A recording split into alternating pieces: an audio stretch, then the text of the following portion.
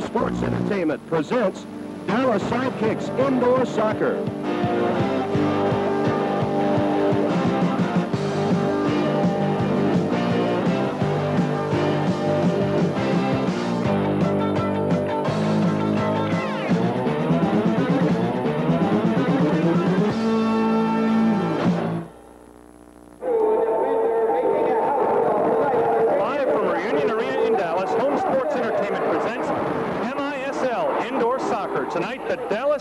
Play host to the defending league champion San Diego Sockers. Hello, everyone. It's really nice to have you here tonight at Reunion Arena. I'm Norm Hitzges alongside former Dallas Tornado player and coach Mike Renshaw. We have got a dandy indoor soccer game for you. If you've not seen the sport, it is high-paced, it is furious, it is high-scoring, it is a dynamite game to watch, and we've got a dynamite team for you. The San Diego Sockers are a terrific soccer team. They have won a championship of the North American Soccer League, or MISL, each of the last four years. They've got the all-time leading scorer in this league. They've got the two all-time leading goaltenders in this league.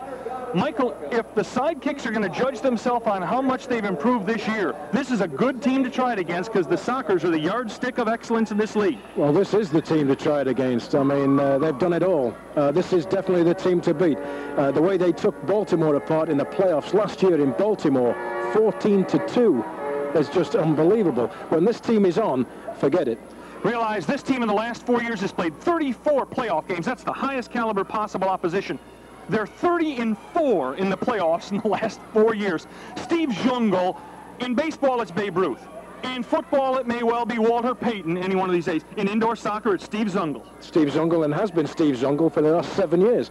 Uh, this guy has led this league uh, in scoring five of those seven years, has been MVP in the league five of seven years. For good measure, got 10 goals in four games against the sidekicks last year.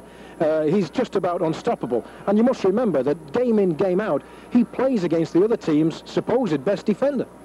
This game will also see a terrific score on the other side of the field for Dallas. Tatu is a goal scorer in a league with Zungul. N- No doubt about it. He is definitely in Zungul's league. He's not had quite the supporting cast that Zungul has had in the past, but Tatu is a threat that's scored every time he touches the ball. Last year, San Diego tattooed Dallas four times. The combined score of those games, 34 to 18. But San Diego had best not come in here thinking they're going to kick this club around. It's a much improved Dallas team. This is a very much improved Dallas team. They're two and three on the year, but they could real easily be five and zero. They've beat themselves in a couple of games, but they're not making the sort of mistakes on a consistent basis that they made last year that really hurt them. Their game against Tacoma uh, last week was an excellent game. They won five to two and really played well throughout the 60 minutes. This must be an especially poignant night for you. The coach of the Sockers is Ron Newman. You and Ron came to America in the late 60s, same year. He was your coach for just about your entire pro career. And the year you left because of a knee injury, he was fired. That's right. I think he was fired because I had the knee injury. I don't know. I don't know. But it is. It's great to see Ron back, and uh, and the, the longevity of this guy is just phenomenal. But he always was a good coach. Always was a, a coach who got on well with his players. I never had any trouble personally with Ron. Always thoroughly enjoyed playing for him, and uh, you know I wish him nothing but success. But uh, hopefully uh, not tonight. You know, he's had six championships, Mike. He's going to run out of fingers for his rings soon. Well, that's right. We were joking with him earlier about all these rings he's got on his fingers. I just don't know what he's going to do with them all. For those of you who have not seen indoor soccer before, a couple of notes about the rules of the game. It is played in four 15-minute quarters. The teams change directions every quarter. To score, the ball must go totally over the goal line. The ball remains in play in this game as long as it remains in the field.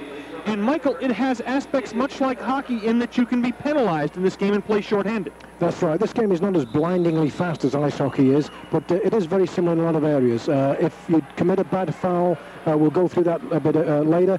Um, you will get sent into the penalty box for two minutes. Your team must then play a man short for two minutes. So we have power play situations, penalty killing situations. Also, if your team commits six uh, fouls by any member of the team in any one period, then that, that also warrants a two-minute penalty. Here is San Diego on the attack. Down the right wing, that's Fernando Clavijo. Clavijo has it taken away by the sidekicks, and they start up the wing. Here is Tatu. In 100 games indoors in his life, 146 goals. We have in MISL history three of the four highest goals per game player in the history of this sport in Zungul and Segota for San Diego and Tatu for Dallas. Zungul in an average game in his career that's Zungul with the ball right there, number seven, has scored 2.2 goals every game in his career. There's a shot deflected toward the goal and over the top of the goal by Perry Vanderbeck, and almost right up here where Mike Renshaw could have played it. We are a minute and two seconds deep here at Reunion Arena. You're watching live indoor soccer. The person handling the ball right now is Zoli the goalie, Zoltan Toth. Here are your officials. You've had a word or two with Gino DiPolito. Well, for my money, Gino's the best referee in this league, and uh, it's, it, it's, not saying a lot, really, because some of the referees are, are quite frankly, uh, below par. But Gino is certainly the best. And you put Torres Cabrichin in that league, too, as a pretty good official. Torres also, that's right. The ball deep in the end for the San Diego Sockers. That is Ade Coker. Coker's free in the corner, knocks it out. It is played to the goalie. New rule this year, if you play it to your own goalie, your own goalie cannot distribute back and then take the ball back. He must play it with his feet when he takes it back. He uses the right to play it with his hands. Here comes Dallas on the attack. That is Billy Caskey and a nice save by Zoltan Toth on the dive. It's knocked over the glass. Now, the rule on the ball over the glass the team to touch it last. The other team gets possession of the ball at the kick-in line. That's right, this dangerous situation. McLeod right across the middle, it goes through Toth, but off the boards. Wow, an excellent opportunity for Caskey, and Toth got a part of the shot and deflected it. Sidekicks a little unfortunate not to score there. Uh, with a set play situation like that, it, it, does provide the chances for goals, and, and we saw one just there. If this game works like other San Diego-Dallas games, it will be very, very low scoring. This year, in five games, the sidekicks and their opponents have scored but 14 goals in the first half. Here's the steal with Dallas, the steal made by Evans. It over the wing to Nanchoff, back to Evans, and they will come back to the fence to set it up. And Dallas now will keep possession of the ball while they change on the go, on the go. One of the reasons they're changing here is to make sure to get Lawson, who has the ball, on the floor at the same time Zungul is on the floor for San Diego. That's right. And the other thing that I noticed earlier was that Collier was the one who started to mark Tatu, um, which was kind of a surprise. The ball batted around and almost a major mistake in their own end by the Sockers, but Schmetzer knocked it out of there. There's a long ball on the wing. Now coming out of his penalty area, the goalie for Dallas, Sobieski, must play it with his feet. But now Sobieski brings it back and is fouled by Zungul, and Dallas will continue. Another foul on San Diego. Right, and as Tatu now has come on the field and Crow went out and Collier is back on. So Collier, it looks like he's going to stay with Tatu, although now he leaves him and Clavijo comes over. Fernando Clavijo, a 1983-84 NASL indoor all-star at defense. This is Zungul, number seven. Zungul marked by Lawson, and Lawson gets up from Vanderbeck. And we now have a whistle. It's foul against Lawson. Steve Zungul's been the MVP of everything in any place he's ever played this game playoffs, regular season, you name it, Zungul is it. Steal by the sidekicks. Tatu, one-on-one. This is Clavijo marking. Tatu goes to his right, place in the wing back, cut off by Clavijo. Nice play. This is dangerous here. This guy's a very good one-on-one player with the ball. On any other club in the league, Segota would be considered the superstar, and Segota gets run down, but the rule is that the defender made the touch of the ball first. The left-hand shot blocked by Sobieski. Segota knocks it in. What a shot from that angle.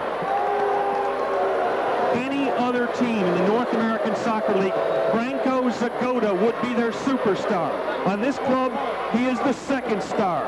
Here is Segota just staying in front like the vulture. Sobieski dives. Now watch Segota right between the legs and in the goal. I mean, from what an angle as well. Great goal.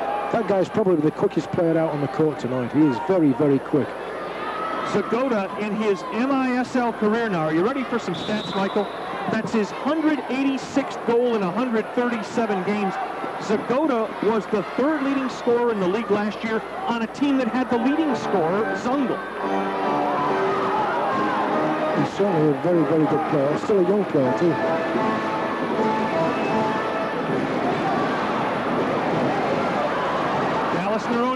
Pressure, give it up. In the corner, turning on the ball is Ade Coker. Coker out in front. They try to play it back through to Coker. It's intercepted by Evans. Sidekicks need to play a little better defensively if they're going to have a chance in this game. Again, Dallas using the possession of the ball as an opportunity to change sides. And the ball basically just given up into the far end. You will see plays. Oh, what a play by Coker. Around him he comes. Here's Quinn for Coker out to get it Sobieski. You will see Dallas occasionally look a bit out of sync because many of these people have just been playing with their teammates perhaps three, four weeks in their careers. That's right. We, we said earlier, this San Diego is the yardstick by which everybody else is measured in this league. Nanchoff shot blocked in traffic in front, and it goes far, far back into the defense where Victor Moreland, who's off to a terrific start, gives it to McLeod. McLeod crosses, turns.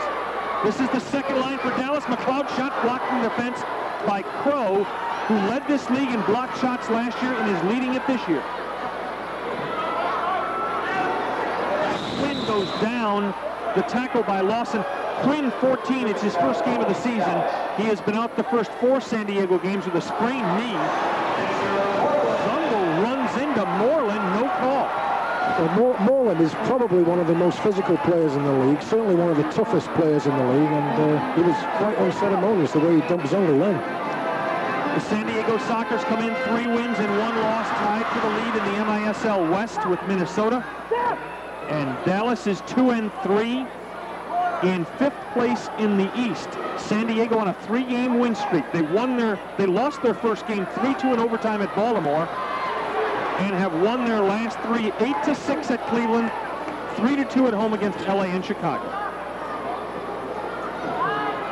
Here is Hugo Perez. Perez turns his shot. Ooh, got away with one there. There really was no defense for Sobieski. That's right, the sidekicks uh, have been left one against one on a couple of occasions at the back there, and that is absolutely no good at all against a team of San Diego's offensive ability. The problem when you play San Diego is they can come at you from so many places. If you stop Zungul, Segota gets you. If you stop them both, who knows but Perez might get you. Dallas very fortunate. Two true stars of this team, multi-time All-Stars Juli Veee and Gene Wilrich are not playing tonight. Veee is sitting out with a pulled abdominal muscle, and Wilrich is sitting out a one-game suspension. There's the shot across in front of the Dallas net again, and San Diego is getting far too many chances. That's right, Sidekicks look a little nervous, a bit overawed by the situation so far.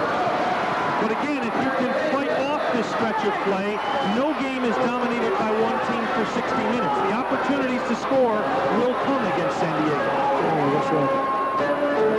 That's Jacques Ladouceur. Two-minute penalty. Against Evans, I believe, for boarding. Kind of a delayed call. 17 Dallas, two minutes. 17 Dallas, you're exactly right, Michael. Gino DiPolito is going to send Mark Evans to the box. Now, we're going to get to see one of the truly high-octane offenses in this league go on the offensive. Dallas must sit out Evans for the next two minutes. And the one-man advantage will belong to San Diego for that two minutes. This telecast is authorized on the rights granted to Home Sports Entertainment and is intended solely for the non-commercial entertainment of our viewing audience. Any rebroadcast or other use of this telecast without the expressed written consent of Home Sports Entertainment is prohibited. Announcers for this telecast were selected and are employed by Home Sports Entertainment. Good going, Michael, all the way through. Private joke, fans. For your Eastern standings, Dallas has switched sides this year. They are in the East, where you see Minnesota and Baltimore, an excellent team in second. Very, very tough division. I mean, Baltimore in the championship game last year, Cleveland very strong all the time. Chicago at 0-4, one of the best teams in the league last year. You must finish fourth to make the playoffs. Top four in each division make the 18 playoffs at the end of the year. Here you see San Diego and Kansas City. Uh, that division is not quite as strong, I wouldn't think, on paper. St. Louis slipping a little. They were a strong team for a couple of years. Tacoma's a very good team. Wichita also in there. Now let's review what San Diego plays what they call a super power play occasionally. Their goaltender, Zolan, Zoltan Toth, will come up all the way to his red line. In fact, all the way into Dallas territory. Occasionally, they'll play the ball. You see it right now. That's the goaltender for the Sockers playing the ball. Which effectively, instead of being a five against four, makes it a six against four. And yes, indeed, he is staying relatively uh, far upfield there. Toth is just back about midfield, and they're literally playing six on four. Zungul is the distributor, number seven. Zungul with the ball right now. Straight out, looks, give it back to the wing. Wide open shot available, from the Dallas defense. That is Kazimierz Deyna, a Polish all-star, 38 years old, probably the finest player Poland ever produced. There's Deyna again, blocked by Chris Sobieski. There's Deyna again, blocked from the defense. Now Dallas converts to offense, intercepted by Zungul. Trouble here. Can Dallas get organized in time? That's the key. They they do in time, and it's Zungul to the left foot to the boards. Kofler's shot hits the post and comes out. Dallas dodges one there. Deyna Segota turns left foot, blocked in the defense. Goodness, it's like a dartboard in front of the Dallas net. Sidekicks a little fortunate right here. Yeah, Deyna's now the distributor. Real scrambling defense here by the sidekicks. Nice play in the Dallas defense. That'll buy him some time. Turning, turning, turning. Knocked down is Jim Gabarra and intercepted. Here The Dallas defense a bit disorganized. Segota goes to the right foot, winds up blocked by Radwanski. Up and in and over the top of the net. That'll be a kick in for San Diego.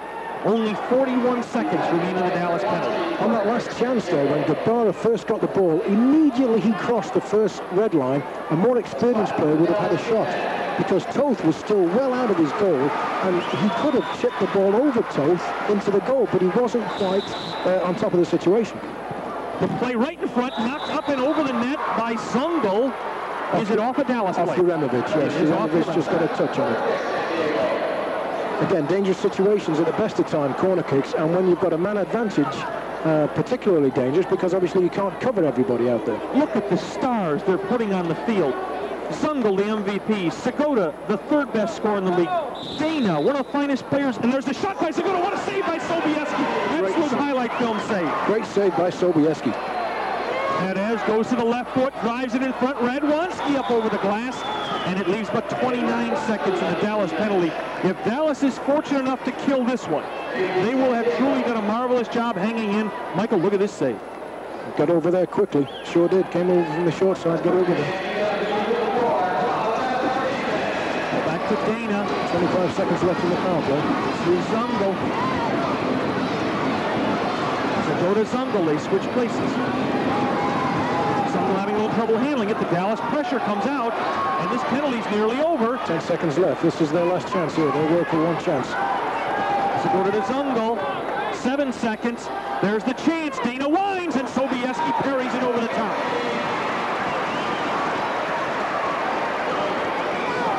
Three seconds remaining, and you will see now, here comes some regular-looking units out. Coker comes off, Radwanski off, Dallas getting a lineup back on the field that Evans can play with when he leaves the penalty box. Uh, but still, still a very dangerous situation because you are still uh, a man down, and it is a corner kick again. The Sockers leave their number one line out there, Zungul and Segota. They come on with a defenseman, though, Schmetzer. Sidekicks are taking a chance here with this lineup on this corner kick. Yes, they are, because it is not their penalty-killing lineup. Zungul across in front. It is not deflected, and here comes Evans out of the box right now. Both sidekicks have got to feel fortunate to get out of that without conceding a goal and going 2-0 down. They have now killed a penalty for the ninth time out of 13 opportunities this year. Zungul marked by Lawson. Boy, your heart just goes in your throat every time Zungul touches the ball because he's capable at any given moment. Foul against Lawson again. That is Dallas' third common foul of the period. Remember now, six, and you are assessed a two-minute penalty. Yes, both teams now with three fouls in the first period. And another one of those dangerous situations. This is the fifth or sixth corner kick for San Diego. Perez point blank hits in. Well, you've got to say it's been all San Diego so far. Yes, it has. You know what made this play? Schmetzer decoyed across the front of the goal, and the Dallas defender had no choice but to go with him. See, the defender goes with Schmetzer, leaving Perez only one man out there to block, and he does not block the shot. That's right. Evans was a bit late getting out to Perez. Might have deflected slightly off Evans as well. Really no chance for Sobieski. 2-0. And the one thing you don't want to do against a quality team like San Diego Dallas has done, they have gotten down more than a goal early. Well, they can blow you away. They've done it with uh, several teams in the past. They are very capable of getting into double figures. This is a dangerous team in that they have not been scoring a lot early this season. They got three goals their first game and third game, and only four goals their fourth game. And this is the highest powered offense in this league. At any given moment, I know you've heard that on NFL games, this club has, is, as Michael said, capable of putting 12 and 14 on the board. Very important now that Dallas reestablish some equilibrium. As you see, the scoring, Hugo Perez, oh, and Sobieski tried to play the ball up the wing and knocked it over the glass and gave it back to the Sockers. Perez gets his sixth goal of the season. The assist to Zungel, his fifth assist of the season. And the Sockers have forged a 2-0 lead. Well, it seems like the whole game has been played down on the sidekick's end. Well, Zoltan Toth, oh, the shot is in. Oh, my goodness, and now Dallas really finds itself in trouble. What looked like a slight letdown, and Ade Coker just towed the ball. Now, Coker gets lucky here.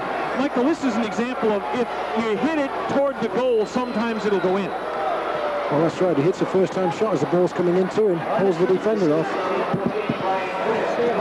Brian Quinn to Coker. Juranovic was a bit casual there with his challenge. You know, maybe maybe he thought uh, the player was not going to shoot.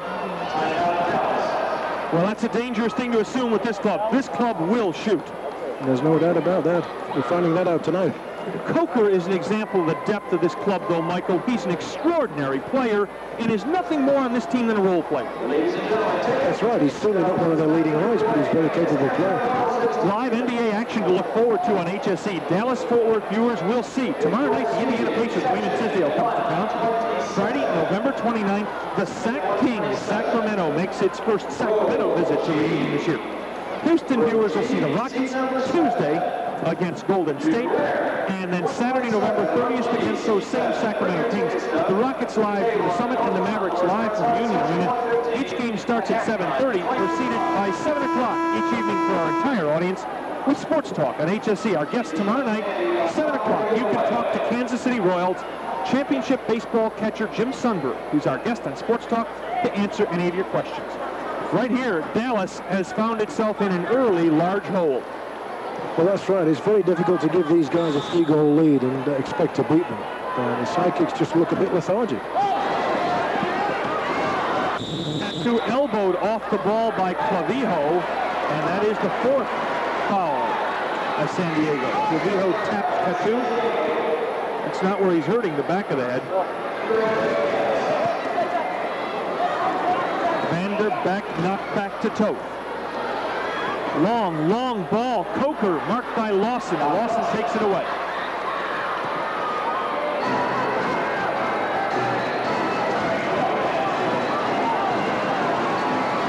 The Dallas Sidekicks have played 54 games in their year-plus history. Ooh, Toth has to go for it. And number four, Mike Juranovic on the field now, has played every one of them. The only man to play every one. Ade Coker from Quinn. Everybody's getting in the act tonight for the soccer so far. Here's Gary Collier, who was just passed to Clavijo. What a year Collier had last year. That's Collier handling the ball. February 10th, he broke his right ankle. It healed. He got well. He made it back for the playoffs. He played eight games and... Broke his left ankle. Oh,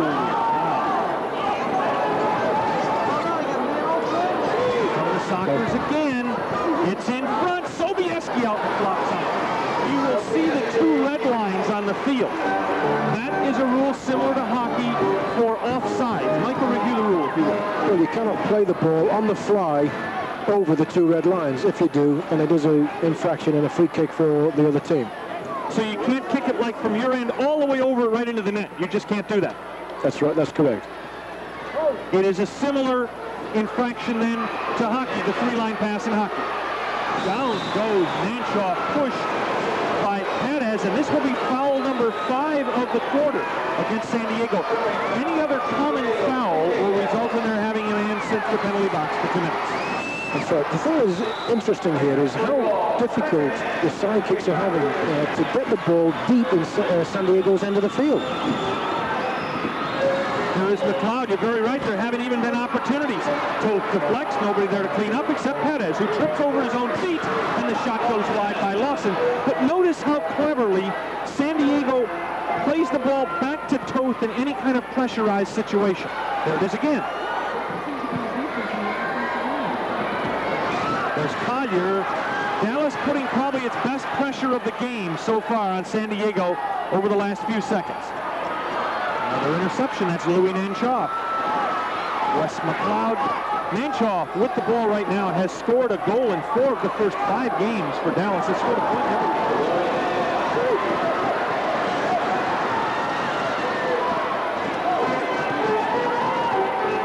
Change of tactics for Dallas, really. Uh, San Diego do, has the, do have the ball. They seem to be trying to put pressure on them a lot earlier.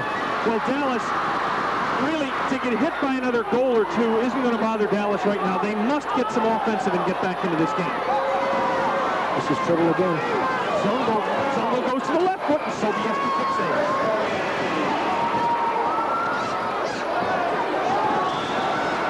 The is that so often when you get ahead, boy, is that a misleading graphic, huh? Sobieski's been peppered. The two, the, I can't remember the two saves by Toth. They must have been simple shots. I wonder if they're counting San Diego kickbacks. Might be. The problem now for the goaltender standpoint for Dallas, Michael, is that you must take chances offensively. Often that strips the goalie of his defensive support, and you're going to get two-on-one, three-on-two situations. That's right. The sidekicks have got to, they're playing at home. They've got to come forward and attack, and that's going to leave themselves uh, definitely vulnerable at the back. Well, Sobieski and two defenders or one defender left at the back line must keep Dallas in the game while the sidekicks go on the offensive right now. Who's the person who can go on the offensive? That's for sure. That too. Evans, the left foot blocked in the defense again by Clavijo.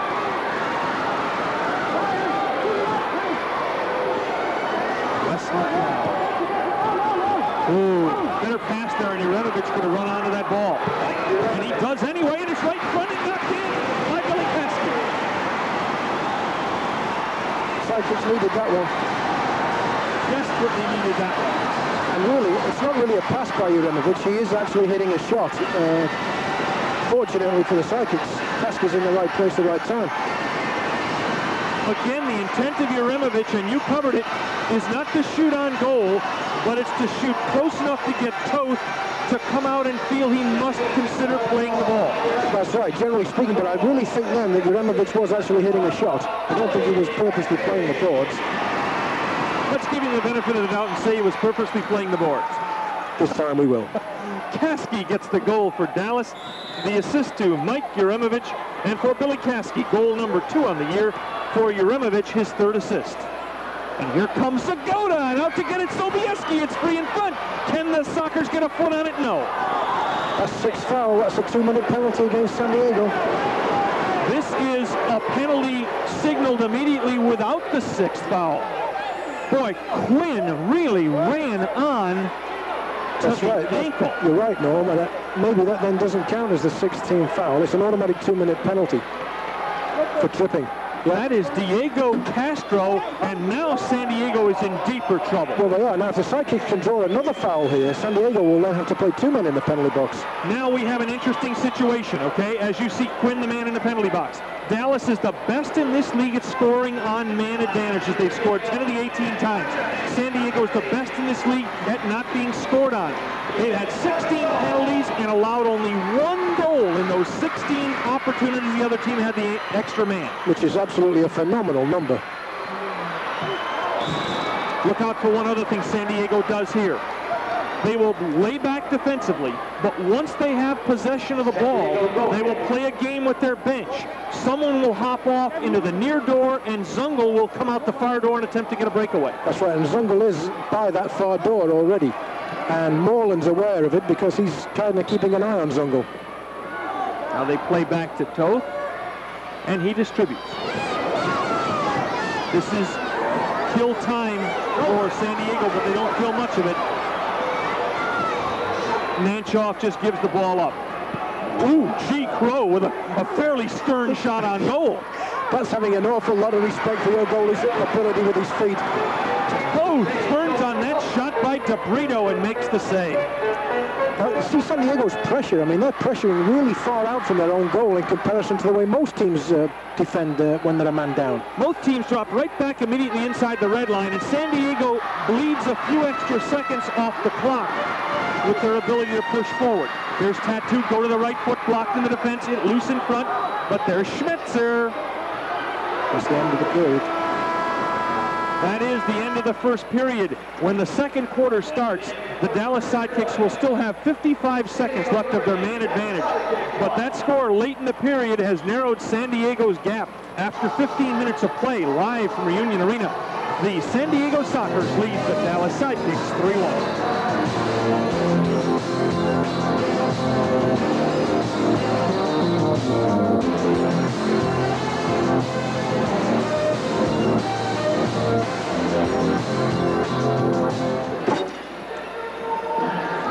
After 15 minutes, the defending MISL champion San Diego Sockers have taken a two-goal lead on the Dallas Sidekicks. You know soccer is a, an international sport. It's probably more international at Reunion Arena tonight than you could ever imagine. There are 30 players active for tonight's game, 16 on Dallas and 14 on the Sockers. 18 countries are represented tonight, Michael. it's like the Olympic Games now. That's outrageous. There are as many players active for tonight's game on the two rosters born in Yugoslavia as there are born in the USA. The only two contents, uh, continents not represented in tonight's game are Australia and Antarctica. And quite frankly, I've never seen a soccer game in which Antarctica is represented. Have you? No, I haven't. I've seen some Australians play, and they're not bad at it. It's remarkable. It's remarkable the way the bloods blend in this international sport. There are some marvelous players that come over here. This is the American version of the international sport, though, indoor soccer. It's a very good game, fast-paced, a lot of action, a lot of bodies flying around. And there's the man who probably did as much to plant the seeds in Dallas as anybody has ever done. That's right, Ron, Ronald Victor Newman. What a career he's had.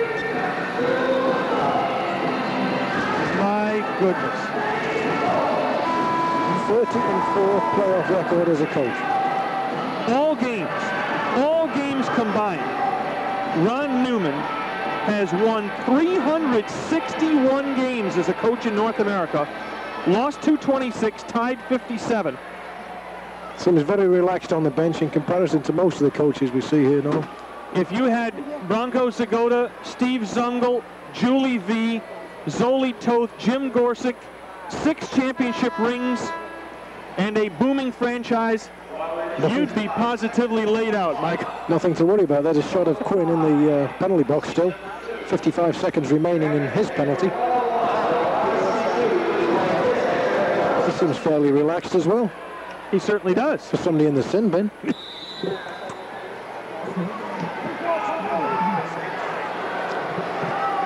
We're underway.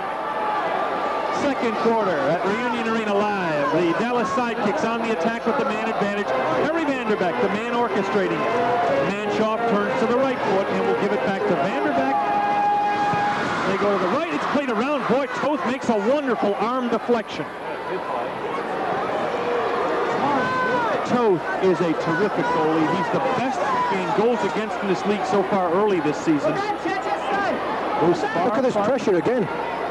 Now look at them forcing Sobieski to just throw the ball out there, and this is taking up time. Just about kills it off. 10 seconds left in the penalty. They'll kill it, kill it off now. Yes, they will. It's just fired up to the middle of the field. And Schmetzer now has an opportunity for San Diego to Zungul. Zungul bangs it off Gino DiPolito. The penalty's over, and the Sockers' league leading. Whoops. Sobieski let the ball slip out of his hands in the penalty area and then picked it up again, which he can't do. If, if the ball comes out of his hands, then he must play it with his feet. Realize what, what Michael was explaining here. Sobieski had handled the ball, let the ball slip out, then try to pick it up again. That is a violation of the rules. And it's the sort of mistake you can't make against these guys. Dallas looks like it is played out of that disadvantage, though, as Lawson takes the ball from Crow, but is still in traffic. And Zungul takes it back. Down goes Zungul. I think it's a good call that there was no call, because I really don't think it was a foul. Dallas needing a goal to make this a one-goal game again. San Diego looking for insurance, leading by two. Early second period. You're live at Reunion Arena. Mike Renshaw is the analyst. I'm Norm Hitzges. Happy to have you here for Major Indoor Soccer. I see what San Diego is doing now. They're quite content to let the sidekicks play four against four at one end of the field and leave Zungul down here by himself to play one against one. Here is Crow, the MISL Defender of the Year last year. There are stars everywhere on this team. Well, they're very solid, top to bottom.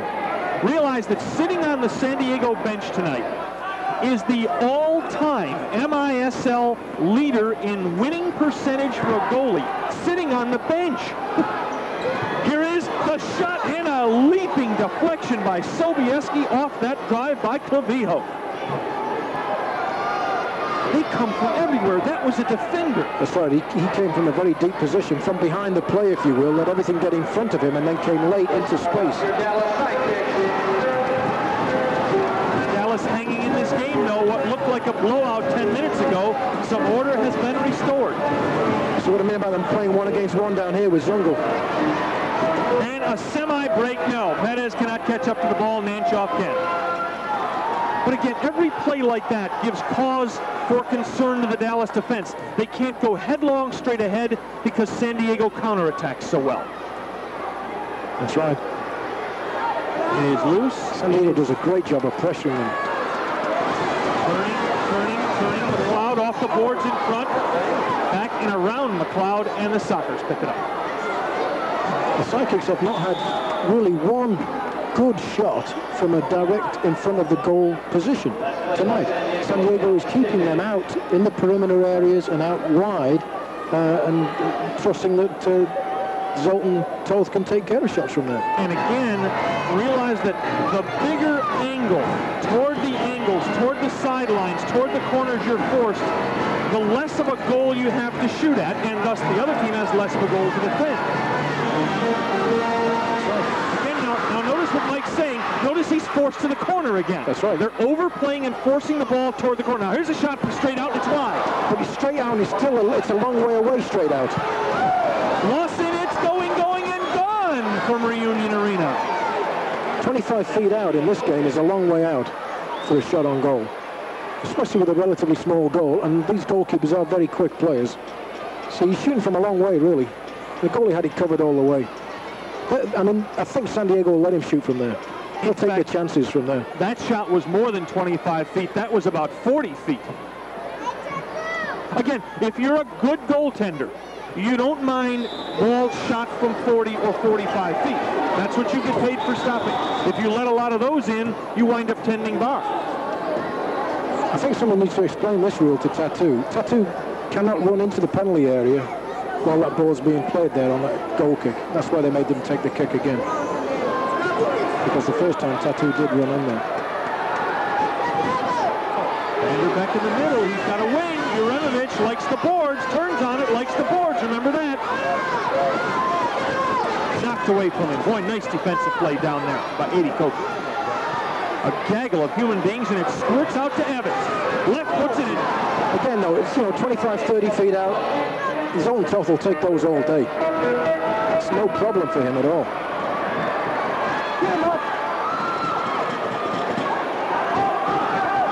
One more thing to notice about Zoltan Toth when he makes the save. Look how quickly he comes up and looks for the ball that he can throw to a forward. No whistle, Tatu in front, in front, in front, tries to play around the goalie, it's in! Uh, what a great effort. I mean, he bounced off three players.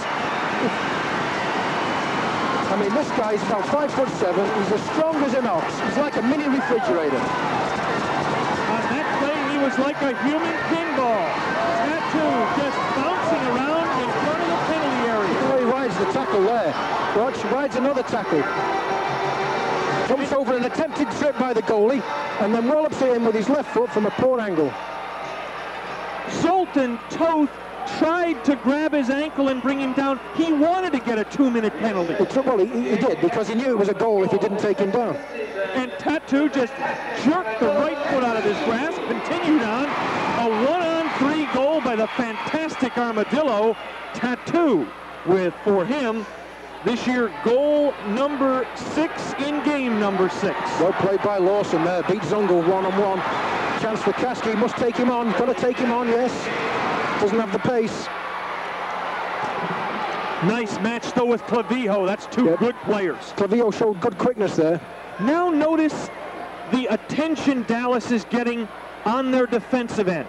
Now see how Dallas is starting to play forward more defensively, cutting off the passing lanes. A much more alert-looking team than the one that started this That's game. right. This is the sidekicks we expected to see at the start of the game. And they started off sluggishly, got themselves in a 3-0 hole. They've managed to climb out of it a little bit.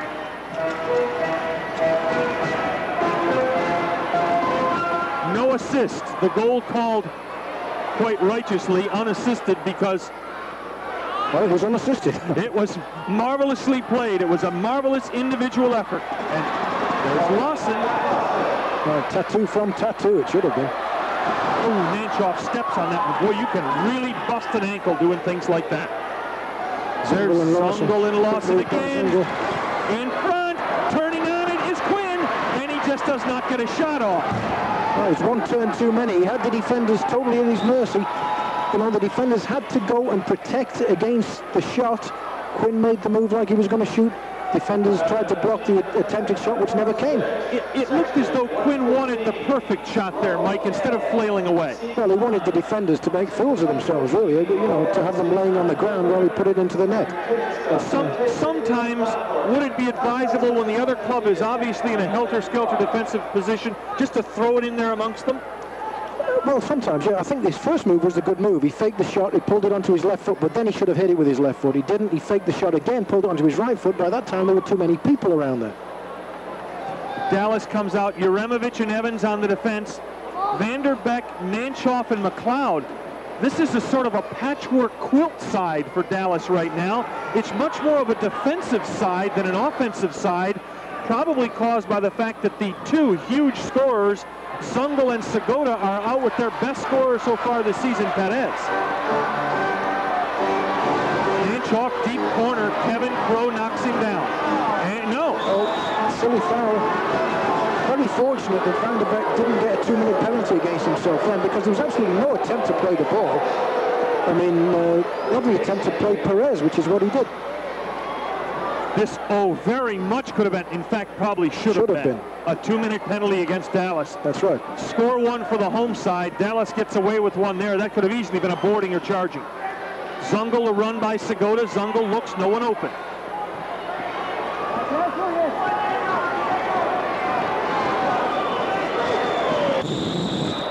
That's the first foul of the period. Almost seven minutes in. This is a dangerous spot because from the place that the referee sets this kick, you can go either way here. You can run a man down the left boards, or you can play it over to the right wing, or you can play it up the middle. There are a lot of possibilities from a ball placed at this position. And Zungul will shoot. Vander back and played back. Boy, nicely played by Segota. Well, tough to outrun Segota. I would, I would venture a bet you put him out there on the field and run him from one end to the other. He'd be the fastest guy out there. Out, Zungul played with Uremovich, and Zungul cuts off the pass back. Lazy and a lazy pass, yes indeed, and it will be taken by the Sockers. So that's the sort of mistake you can't afford against this team. You can't afford to give them the ball. Well, a mistake just like that by DeBrito in the Baltimore game with the score 3-3 resulted in the winning goal. That's right. And those are mistakes, Michael, though made by a team that's not been together long. That's to the Vanderbeck, takes him on, avoids the trip in front. It's just loose and Toth has it. There we go. Quick outlet pass to Zungul against Uremovich, who wins the ball. Odd here in that Dallas has now switched to Uremovich. I'm going to say this. To with Lawson on the floor. Dangerous situation here. Lawson trying to clear the ball, nearly scores. Hit a thunderous shot, trying to clear the ball. 7.05 remaining second quarter. If that had been on target, that might have surprised Toth, because he certainly wasn't expecting a shot from there. Segota with a header right in front, but absolutely nobody's home. And Sobieski, who after some striking saves early that kept Dallas in the game, has settled out and played beautifully in goal. See the good pressure again by Quinn there on Lawson, forced him to give the ball up. The sidekicks are having difficulty all of a sudden holding on to the ball when they get it. This is Branko Segota. In front, Quinn turns, it's in. Oh, my. Quick goal out of nothing. Oh, my. In what didn't look like any kind of an opportunity compared to the one Quinn didn't shoot on a moment ago. Look at Quinn just turn on this ball, Mike. Boom. Gone. Yeah, very good quick turn and shot all in one motion. Got his body over the ball, kept the shot low. Absolutely superb goal by Brian Quinn. Stretches the lead back out to 4-2 San Diego with 6.26 remaining in the second period. Here's our HSE schedule of college football games this weekend. We've got for you Saturday night, 10:30, Texas A&M versus TCU. That same day tape delayed action. A&M goes into that game with a chance still to be in the Cotton Bowl. And Sunday at 6 o'clock, UCLA needs this one for a Rose Bowl berth against traditional rival USC. Bowl invitations go out tomorrow night. Be with us for two important games for the postseason of college football this weekend here on HSE. I guess that means the Aggies are rooting for Texas this weekend, huh? What a weird situation. It certainly is.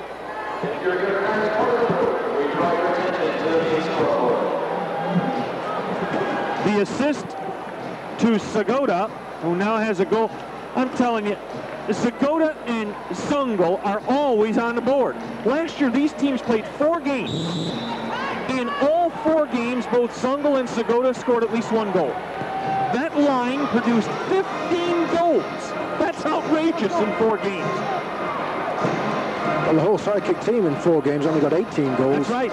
And Zungul and Segota alone got uh, got 15. Down goes Wes McLeod. Knocked down his keister. He was hooked. Evans blocked hard by LaDoucière. And Evans kicks LaDoucière. I don't think that was one of Gino's better calls. Let's have a look at it again. No, No, he's got, he's got all ball, really. get doesn't all he? ball. And even if you contact the ball and then happen to foul the player, if you're playing the ball and hit the ball first, it is no foul on the follow-through. That's right.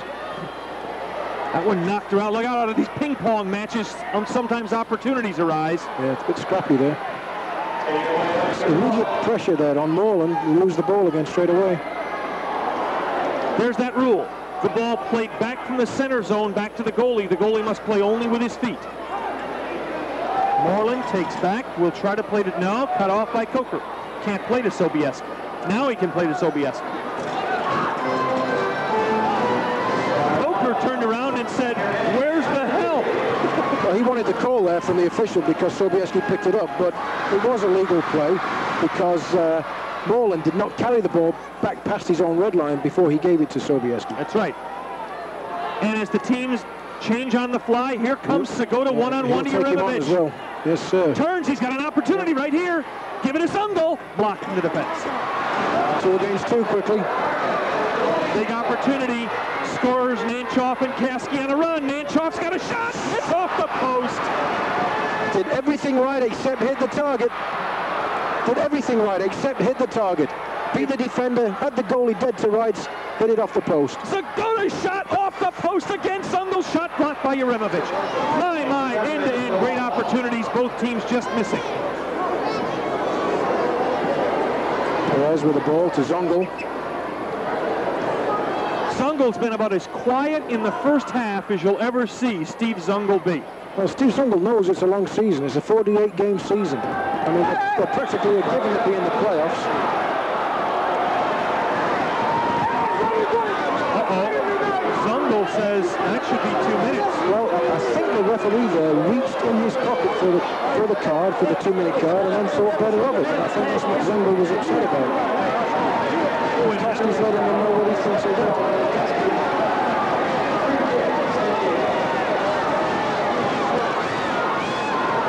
Michael, you be the referee. Well, he gets all player, and he kicks right through the player, gets the ball. I would think it was a foul. Didn't think it was a vicious. Ooh, down goes Crow. It did not look like a vicious attempt to hurt the player, though. No, but it, it was a very strong challenge, and Caskey is a tough player, like his countryman Moreland. You know, I guess you're born in Northern Ireland, you learn to be tougher.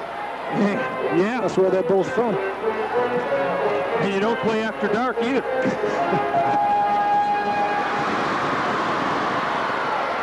At halftime tonight, we'll talk to San Diego head coach Ron Newman, a familiar face around these parts. Newman, who worked as the head coach for the Dallas Tornado for many years, and one of the main reasons soccer is so popular with kids in this area.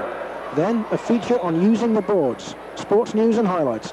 That's at halftime, in just a few moments on HSE. As a matter of fact, in 345. As Vanderbeck heads for the boards, a foul is called, and whoa, they call this one on five against Dallas, is it? Yes, Yes, five it is. against Dallas, 3.42 to play. This could be dangerous. Well, it's time for our, our uh, line every evening when somebody has five, Mike. When it's five, take a dive. That's right. Look for San Diego to magnify every time they're bumped in the next three minutes or so. Lawson fans on the shot. That was a great pass to Lawson, but he did fan on it. Now Here- dangerous at this end. here comes oh, look that at Zungul out of the out of the bench area. This is Chacha Namdar, number six. Chacha is a mechanical engineering graduate of Texas Tech. Played four years at Tech. I doubt if there are many Chacha Namdars in Lubbock. What do you think? He's probably the only one. Good player, though. Zungul distributes, leaves it for Namdar, and it's raked clean by Moreland. Terrific play. Good competitive soccer game here. It's a good tight game. Certainly picked up uh, the pace the last few minutes and he's getting physical also. That's Diego Castro leaving it for Vanderbeck. Dallas would love a goal to get back within one before halftime. I think it's important that Dallas tries to get that goal. Ooh. Quinn got half a forehead on that pass. Here's Lawson, wind up and fire, it's high. Headed around, it's loose, Vanderbeck can't control, and it comes back to Moore.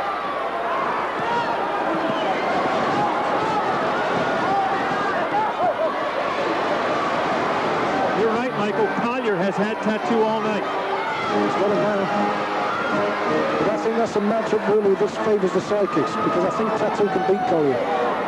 Collier's not been in that much because I think he, he might have been slightly injured or something. This is only his second or third shift since the game began. San Diego really would be advised, I would think, to go forward on this attack because they could get a foul situation. Nice pass, Zungul, back to La Ducier, who simply, if he were playing with his hands, I'd have said fumbles it. What do you call it? Football. Well, did about the same thing, lost control of the ball.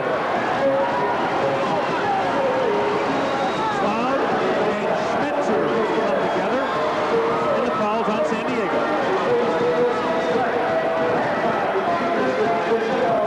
120 left. First half, Moreland all alone wing. It's blocked in the defense by Clavijo. It was a, you know a shot from a long way away. Oh, by, no, it's a good tackle. It's a, it's a very hard tackle, but it's a good tackle. I mean, he's gone right through ball, Zungul, everything. That's the sort of player Moreland is. Down got to go on the replay. It's a very strong challenge. Watch this challenge here by Moreland. Boom. You know, boom. He got the ball. He's, he's not a bashful player at all. Michael, he did make contact with the ball first and was playing only the ball. Yeah, very, very strong challenge by. But he gets the ball, boom. And then it's a collision between him and Zungul. Holy cow, I'm telling you. San Diego's fortunate Zungul didn't get hurt. He was hit full force on the leg. Well, Zungul's a very tough individual. I mean, he's, he's had his share of uh, bashes over his career. He's Well- quite a solid player. But Moreland, like I said earlier, he, he is definitely one of the toughest players in this league. Well, when you're a marked man, literally, as Zungul is every night, I mean, people do everything but get it, get after him with tire irons. Well, that's right. The, the fact is, Moreland would not have been unhappy to see Zungul uh, taken off with a slight injury there. Yeah, you'd never say that publicly, but Certainly, I mean, he saw his chance, you know, to go for a free ball and get a bit of Zungul as well, and that's what he did. Unfortunately, the referee saw it as a foul. There's the power play. 105 left in the first half. Dallas has their power-killing unit on. That's Gabarra challenging Zungul. That's Radwanski. Ball in front to Deyna. Back to Deyna. Deyna looks. There's Zungul in front. No, no to Perez. Dallas doing a good job maintaining position right here. There's Zungul. Stop it, wind up, give it on the wing. The shot size got a rolls in front. It's knocked out of there by Evans, and this ball is cleared nicely. He's got the benefit of the crowd there. 34 seconds remaining in the first half. Dallas trying to kill a penalty. And as now San Diego reorganizes a bit, Zungul starts it to Deyna. There's Zungul. He'll run on this one and fires it. Evans blocks it. Evans blocks it again. The header down goes someone. I can't agree with that call either again. I don't know what it is. Well, he's called jumping in on Zungul here. But he's, again, it's a fair challenge for a free ball. Look, fair challenge for a free ball. It is a free ball. And it's a fair challenge, in my opinion. And in fact, Zungul got the ball before he made contact with the defender. Here is Zungul again. The shot is high. Five seconds. They've got to hurry. Segota runs on it. He turns. It's high. The half is ended. Dallas has literally dodged a bullet as this half ends. But that bullet is still going to be flying in the second half because they'll still have 48 seconds remaining in the penalty when we start the third period. San Diego will start the third period with a man advantage for the first 48 seconds, and they will take a 4-2 lead to halftime. Your impressions of the first half? Well, a very good game. Sykes got off to a sluggish start. It's a very physical game, certainly picked up in the last few minutes. You know, the referee's leaving a, something to be desired, which is unfortunate because generally Gino is one of the better referees in the league. Uh, he's not letting them get, a, get away with a lot, it doesn't seem like. High level of play, though. Very high level of play, and San Diego's a good team. Psychics have done a lot better, though, the last uh, 20 minutes than they did in the first 10 minutes. Just a judgment on your part. If this were the team Dallas were putting on this field last year at this time, what would the score be now? Well, San Diego would probably have at least eight goals, I think, last you know last year. The Sidekicks have defended better, although I will say this, the first 10 minutes of the game, the Sidekicks look like the Sidekicks of last year.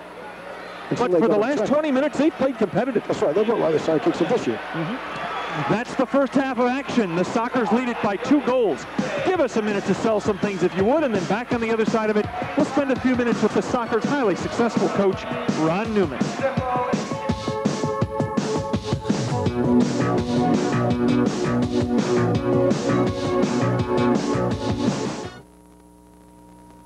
This certainly seems like old times for me. Standing next to me, the winningest coach in the history of soccer in North America, Ron Newman. He's won four straight championships the last four years indoors. He won a championship as coach of the Dallas Tornado outdoors in 71, won a championship in the American Soccer League, was for seven years the coach of the Dallas Tornado. It's nice to have you back in Dallas. That must pull some heartstrings for you to come back here. I always love coming back to Dallas. Sometimes disappointed that the, the fans aren't bursting to come into this place because uh, so many of our ex-players, you know, like Mike Renshaw, Dick Hall, Bobby Moffat, Kenny Cooper, John Best, go through more. Uh, left such a legacy amongst the children here, you know, and uh, just so much hard work back in those early days, and, uh, and yet I don't see it showing up yet in these stadiums with the with the indoor. One of the people who did a lot of hard work was Ron Newman. I remember still those early years, you and Olive going up and down Central Expressway putting the stakes with the Tornado Game Tonight signs out there.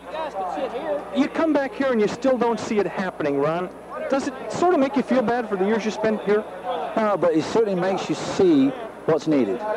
You know, and the media has to put the game in the right perspective for the fans. It has to give it importance.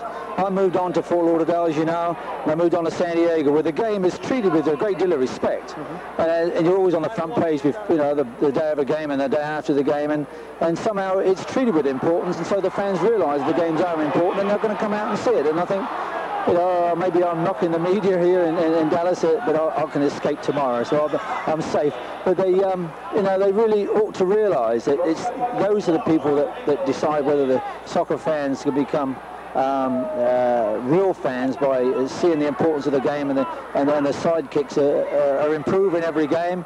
And then it's a, it's a great game to come and watch. The indoor game is a marvellous, marvellous American sport you have now reached a place for a coach where it's either a blessing or a curse. I'm not sure which, and I wonder if you're sure which. You're expected to win this thing every year with the record you put on the board. Yeah, that, that takes a little bit of a um, spark away from winning because, you know, it's a bit of a drudge. You, you do get uh, knocked back if, if you lose a game, and everybody wants to beat you, and that's the, the focus point of the season sometimes, just to beat us. And uh, But, you know, you're going to strive for championship, and and it's lovely to win championships, and if you if you do, then you've got to expect that sort of thing. So we just got to take it. With Collier healthy again this year, with Coker nearing good health again this year, with Veee back after a year away from your team, and still some tremendous players on your club, might this be the best indoor soccer team ever assembled? Well, I think every year we have to be better, bit better than last year. We've not really made many changes from last year, so any changes we've done, we we think we've done for the better. So I've got to say that we're a little bit better than last year, but everybody in this league is that much better. But a lot of teams, I think, are maybe 20 or 30 percent better. Uh, we've managed to maybe get two or three percent better. It's very difficult to know how to get better when you've when you broke every record there was to break last year. Mm-hmm. Ron, in case you're hurting for talent, I know where you can still get a player. Mike Renshaw, as the analyst in the game tonight, says his knee is fine. He could give you 20 minutes. Let me tell you that 20 minutes from Mike Renshaw, just before that knee collapse, he was one of the finest players in North America. It broke my heart to see his knee break down. I'm saying that sincerely because he was showing incredible form and it was a disaster for the game to see, to see Mike go. But now we can talk to all the fans. That's worse he's starting to show some form as an analyst too, Ron. Yeah, well, I know. He knows the game, does Mike, and he loves the game, and that's very important. Congratulations on an utterly spectacular career, continued success. Thank you very much, Norm. That's San Diego Sockers' coach Ron Newman. Our halftime continues with a soccer feature after these messages.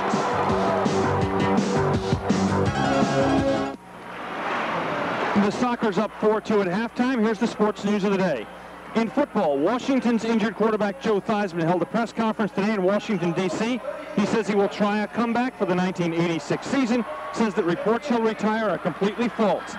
Injured Philadelphia Eagle quarterback Ron Jaworski, whose bruised shoulder put him on the doubtful list for the Cowboy game earlier this week, has been upgraded to questionable and may be upgraded to probable by tomorrow. Texas Tech football players upset about the firing of coach Jerry Moore say they considered boycotting tomorrow's game against the University of Houston, but they will play now, they decided late this afternoon. NBA basketball this evening. Two minutes to go. The Pistons are drowning Golden State 109-93. Fourth quarter, Boston 89-87 over Philadelphia. Third quarter, the Cleveland Cavaliers lead Utah 65-62. Third quarter, the Knicks over Washington, 61-59. The Knicks playing without Patrick Ewing tonight. And in San Antonio, tomorrow night's Dallas Maverick opponent, the Indiana Pacers, are getting nailed by the Spurs 45-33 second period. Two games later, including the Houston-Seattle game in Seattle. In baseball, Doug Rader, the fired manager of the Texas Rangers, apparently will get the third base coaching job with the Chicago White Sox.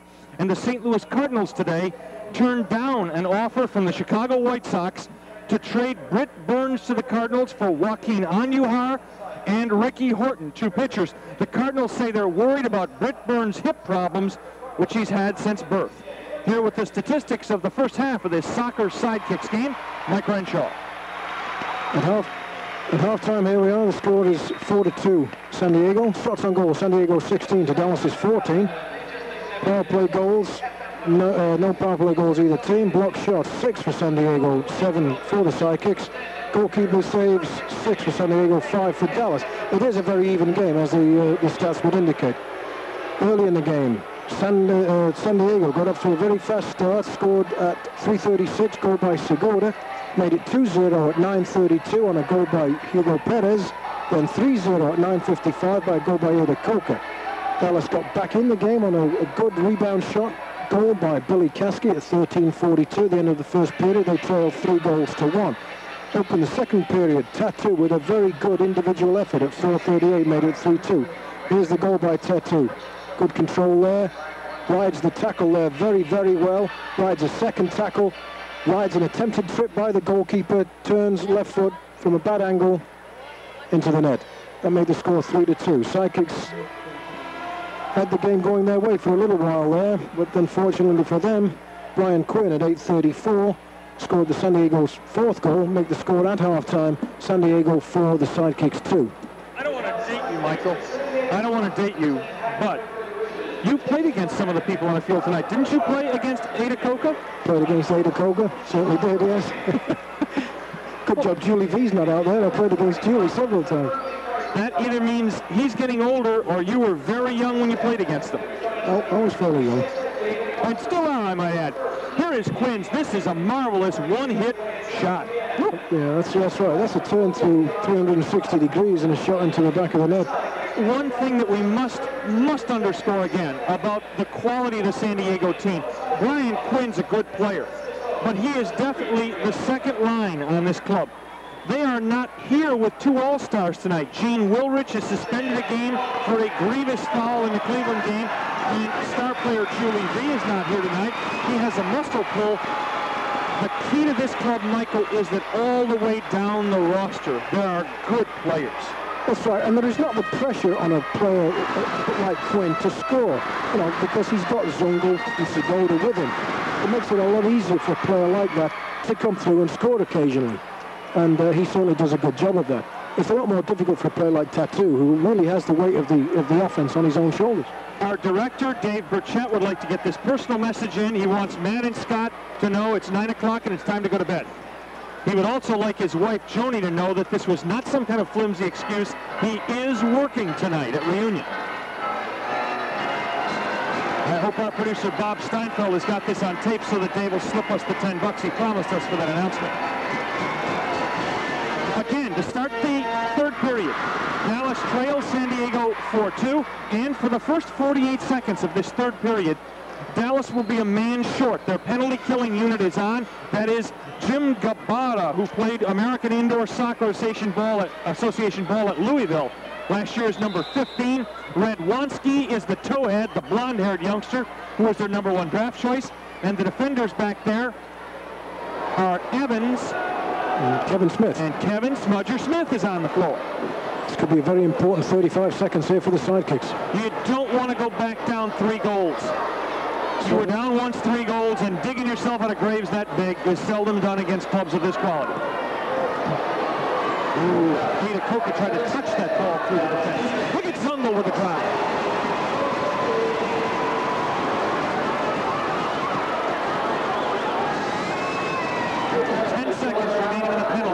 This will be San Diego's last thrust with the man advantage. Left wing Perez plays the boards, blocked in there nicely in the defense. And golly, hasn't the Dallas penalty killer. Man's coming out of the box there. He's open. Give it him. Radwanski didn't see Moreland. Moreland came out of the penalty box. Would have been one on nobody. Well, you have to forgive Radwanski because that is a raw rookie. And plus, he hadn't played much indoor soccer at all. He was an outdoor All-American at North Carolina. And there he goes leaping off and over the bench. Did you see that move? That's right. He's going to get an earful here from Moreland right now. Uremovich on the wing, stumbles a bit, elbow, elbow, elbow. Boy, it gets tough along the boards. Deyna back to Toth. This is Brian Quinn, scorer of the fourth goal. This is Gary Kodger up in a dangerous position. That is Deyna. Flips but down goes Lawson. Down goes Zungul. Foul on Zungul. What a good match this has been this evening. As you see Zungul trying to come through Lawson. The reason Coach Gordon Jago picked Lawson to cover Zungul tonight was back when Zungul was starring with the Arrows. Doc Lawson was starring in defense for Philadelphia and did a very sound game after game job against Zungul. Second foul there of the period against San Diego. Foul on.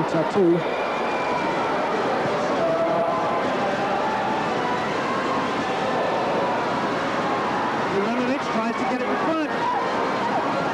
He and Quinn and Collier and Quinn comes out of there. It's stolen back by Tatu. Shot blocked. Okay, it took men to Tatu foul again by Collier against Tatu. 12.53 left in the period. That's the third foul against San Diego. On the Dallas side emotionally, that's a good sign. Dallas desperately needs the next goal in this game. Wouldn't you think the next goal in this game seals it for San Diego if they get it? Certainly tough for the Sidekicks to come back from three goals down late in the game. Tatu works away. It's in front. The pass is high. And that's what it was. He was trying to pass it over and it was a little high. Look at the play by Quinn. Kicks it back over the head to himself and a foul on Vanderbeck against Quinn.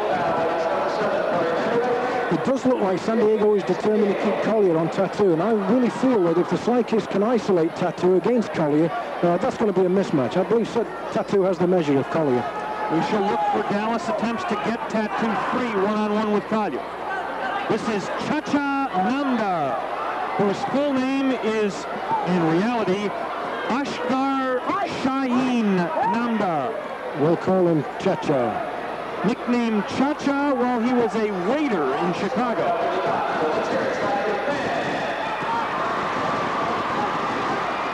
This is Castro, who's getting a lot more playing time this evening than he has in the first few games of the season. That's right. I wonder if his nickname is Fidel. No, I, I doubt it. Lawson, who's played very well tonight, Dangerous here, Quinn again. And the right wing is open with Clavijo, but they didn't see him. And it's open again, and they don't see him. Well played by Coker to ride Lawson off the ball. Chance here for Dallas. Tatu's got 12 on McLeod down. goes Two-minute penalty, yes, sir. No doubt about that. And, you know, Quinn probably felt like he had to take him down because Tatu will score in that situation. Here's a change in Tatu, Mike. He, he's not as much begging for a foul this year or getting up feeling like he's been, he's much more of a professional, realizing much more he is the target man for the defense and that he's going to get a lot of bucks. That's right, he was holding that injured wrist again. It Looks like he fell on it quite heavily. That is a sprained wrist. And actually, you add his first goal this evening, and it's up to six goals and four assists for Tatu this year. Oh, here's a dangerous play, and it's blocked by Toth. It's free in front. No, Toth has it. Well, on the situation where Tatu drew the foul there, he knew Quinn was coming from that side, and he, you know, put his body between uh, Quinn and the ball, so that the only way Quinn could get the ball was to foul him, which is what he did.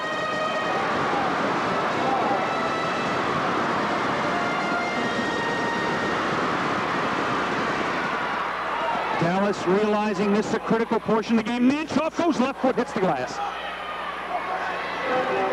Ooh, Nanchoff booked Clavijo and no call from the official. Well, again, he was trying to use his body to shield the ball from Clavijo. There we go, that's the idea. Ooh, just wide. There's a chance for Nanchoff. There's a man in front. No, they seal it off. Gee, San Diego played that well. They did, but the chance came when Vanderbeck played a one-touch pass over to Marlin, which is what you've got to do in this game. Move the ball around one touch. There's Nanchoff and Toth. There's the deflection and kicked out of there by Schmetzer. It's got to be dangerous play. That's a, if they don't call that dangerous play, I mean, if you don't, you can't get any closer to kicking a player in the head. You cannot do this. And they let them get away with it. Watch. Ball there, up in the air. Oh, that's definitely a dangerous play. I, I'm absolutely aghast that the referees have not called that. Nanchoff goes to the left foot and Crow, my goodness, he blocks more things than Chicago Bears front line. You see, you're not allowed to lift your foot up that high. You know, above the player's head height, literally. Dangerous play here as Namdar pressures, pressures, and look at all the time Chacha Namdar all by himself is forcing Dallas to use up there. Again intercepted. Here it comes the Nanchoff. Chance here. No, no. There's Clavijo.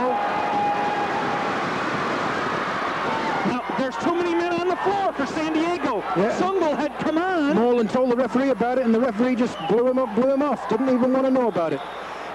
You know, so much depends on the officiating. Like when on the high kicking call there, had they call that, uh, you know, maybe they have to send somebody else in for two minutes, and they didn't want to do that, so they just ignore it. Like they're going to rewrite the rule book or something. That was definitely an extra man on the field. Both people were on the field in position to play the ball at the same time. One of them should have been off near the bench area. Now they just ran four seconds off the clock. Still running. They haven't even started to play yet. Now that's six seconds they've run off the clock. Since and, and the play has not been started yet.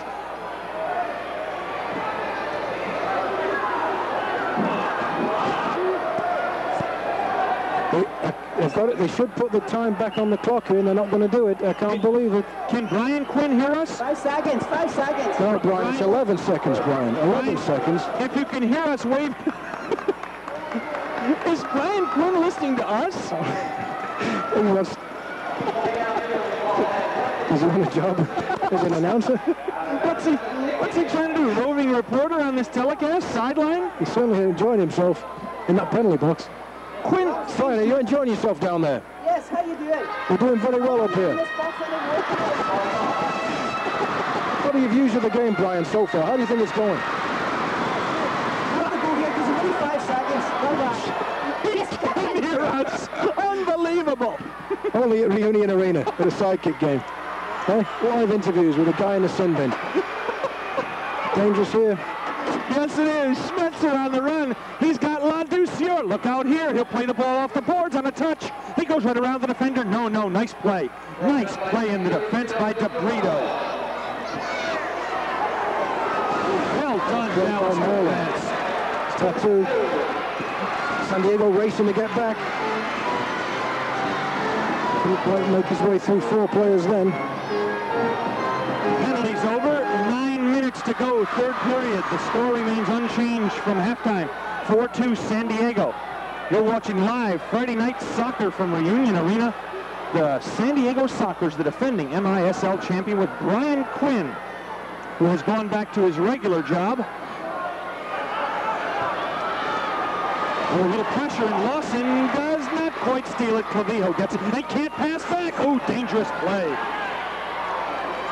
But Dallas is showing a great deal of energy defensively. Yeah, it's a, it's a great game right now. It's end to end. Castro right through, and it slips to the foot of toe.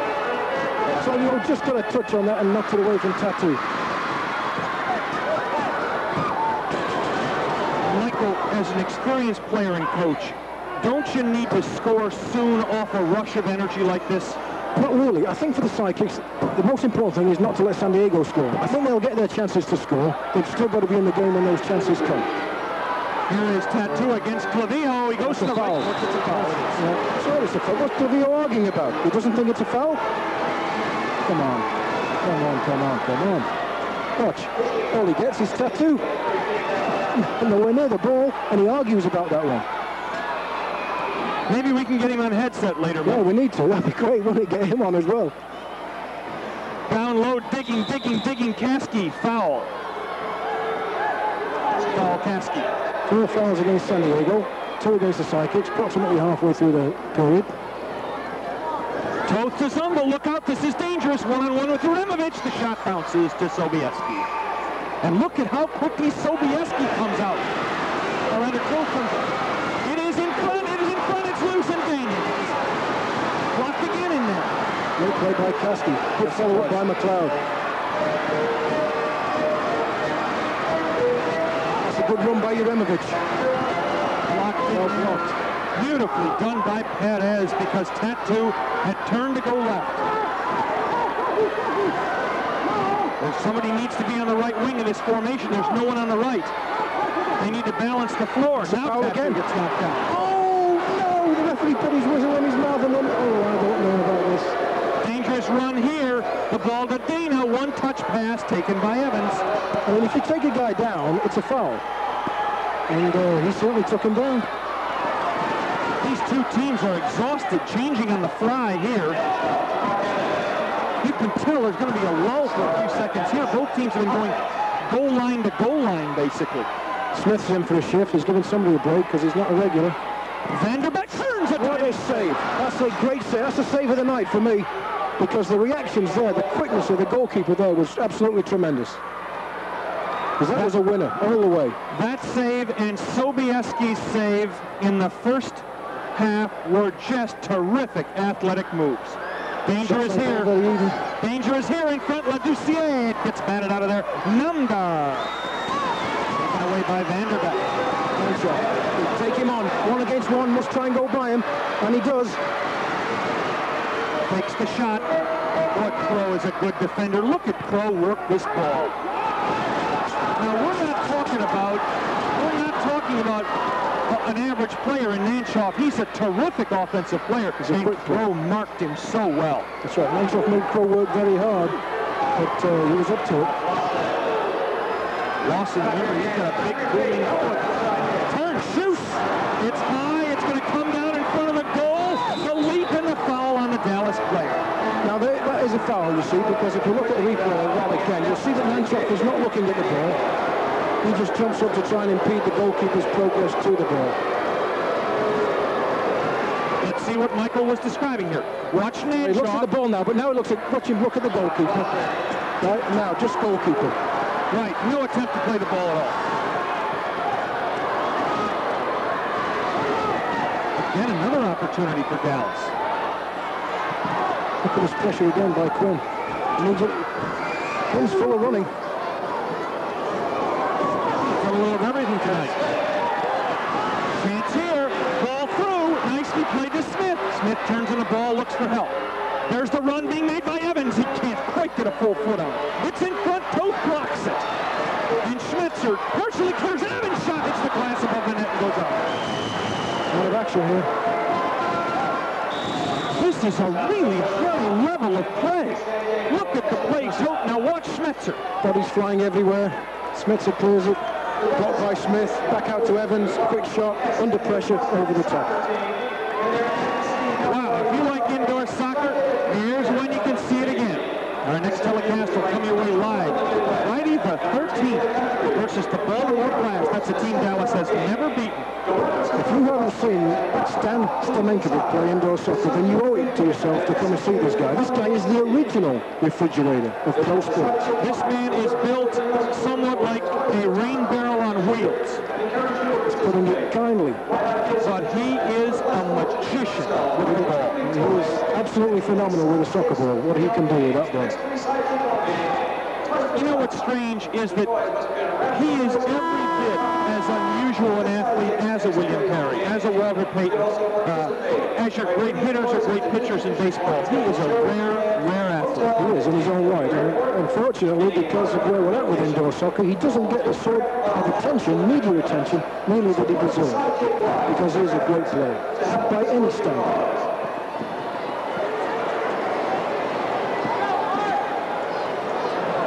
4.48 remaining.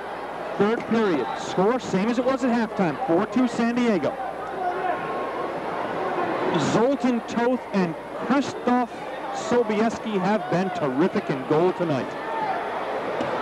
You know, this game could be about 11-9 without the defenders and the goalies playing as well as they have.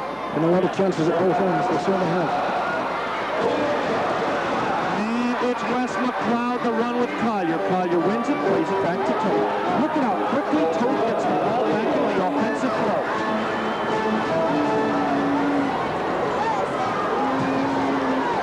Segota, oh, Evans put both hands down on the mat to block the ball. Here is Danshaw. Let's see if he one touches it off the boards. He tries to turn. It's bounded loose and picked up in there. This is dangerous. This guy can move.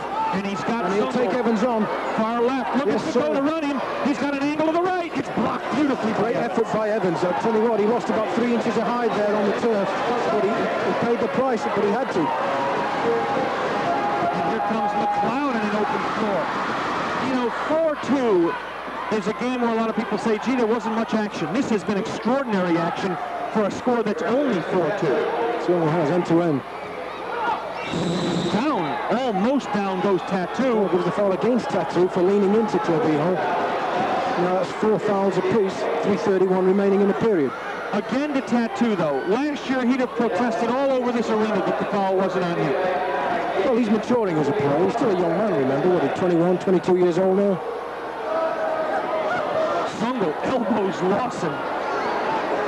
Oh, and then blocks a shot with his shoulder.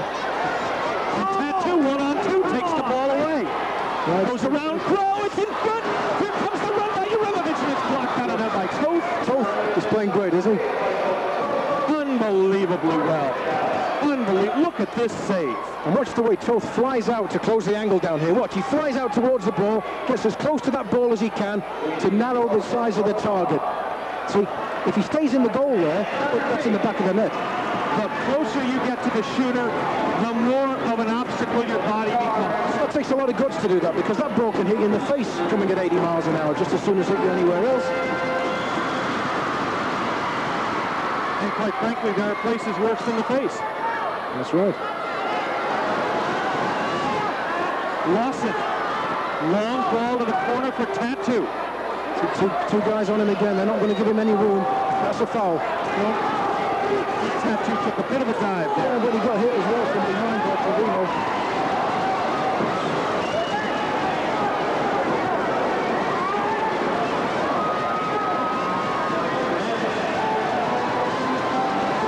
Tatu against Zongo. What a matchup. Now, Zongo's not a defender. Tatu slips and falls on the turf. I hope that's not an injury to him. remains on the turf. And now as Dallas gains possession, there'll be a timeout. I don't believe that's an injury. I think that's an exhaustion frustration. It might be. Uh, better hope it's not a turned ankle. They can, they can ill afford to lose this guy. You see the sort of attention he gets. See, Zungo's not a defender. Let's take a look here, Mike. His foot just got caught in the turf and tripped. Shouldn't, shouldn't be a bad injury.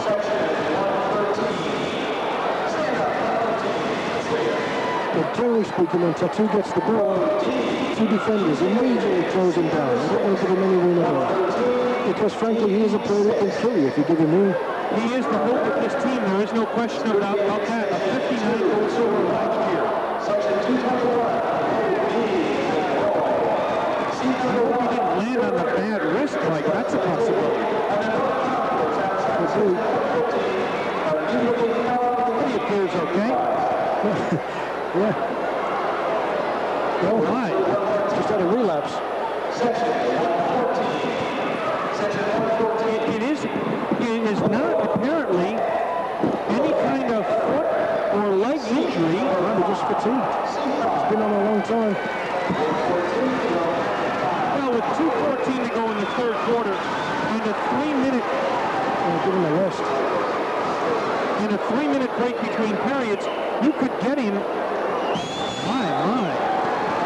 As Gabrino simply carries him single-handedly.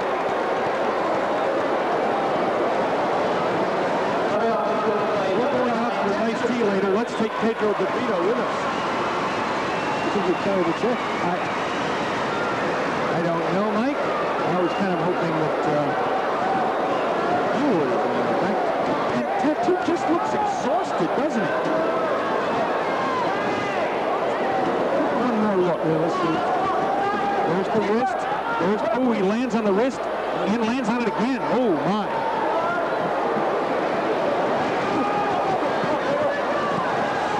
Cabrito on the floor now. Bounce. Fresh legs. Back, comes on. Cabrito's a very capable player. The Cyclists haven't really got as much out of him so far this season, this young season, as they would have liked. But uh, if he's on, again, he can pick up the slack. He's that type of player. He is a goal scorer, too. Cabrito will put the ball in the net. He's done it three times already this year. The pressure again by Quinn immediately.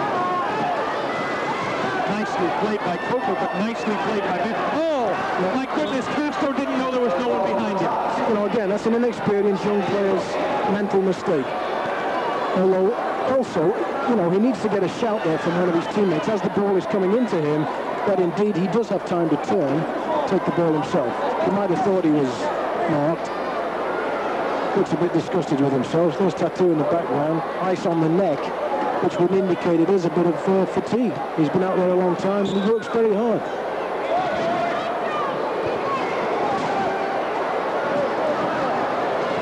See, it didn't look like he hit his head on the turf, but you can't tell. He did take a tumble there. I think they're just reviving him is what it is.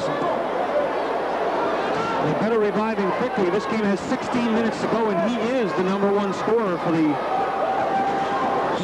Dallas Sidekicks. That red rocket ball winds up in the... Uh, Uh, Trujillo trying to play it off the glass to Quinn. And misjudged it slightly, went off the top of the glass and over.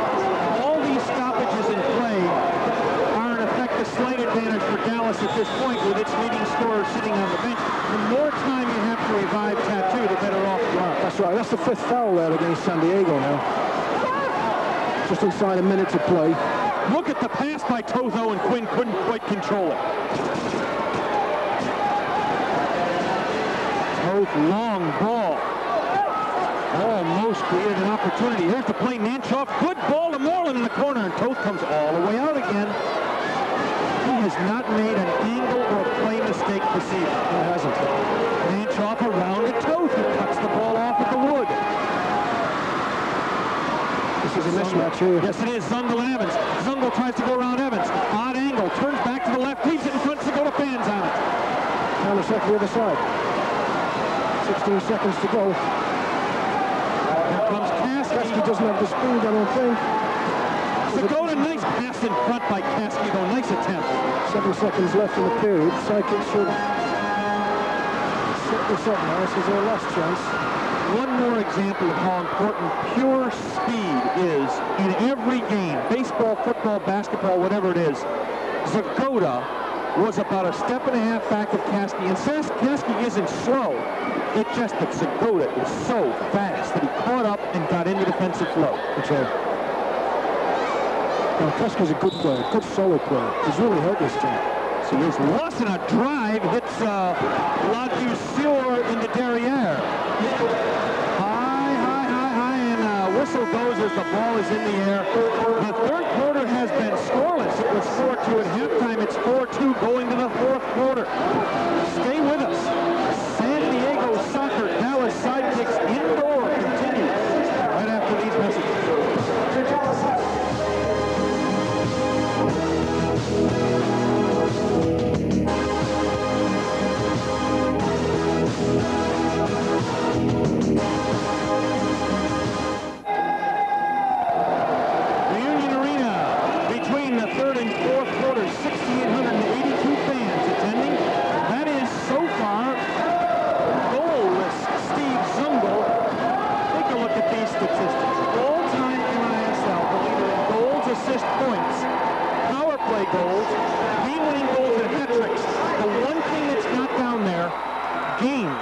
With all those records, he's not even in the top 10 in the history of this league in games played, which gives you a feeling for what an enormous ability he has to score.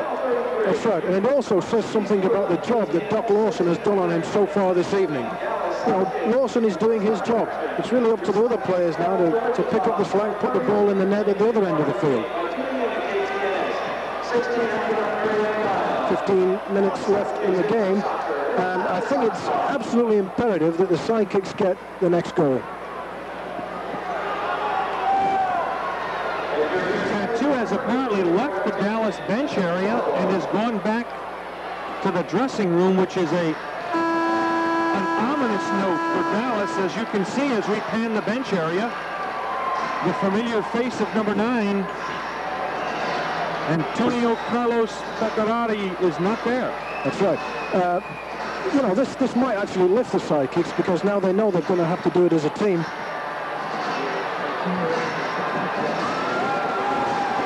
We will attempt to get the diagnosis of Tatu for you in just a moment.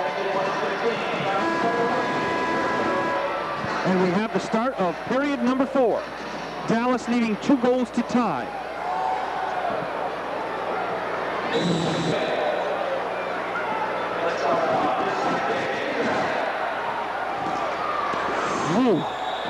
Crow and Vanderbeck collide.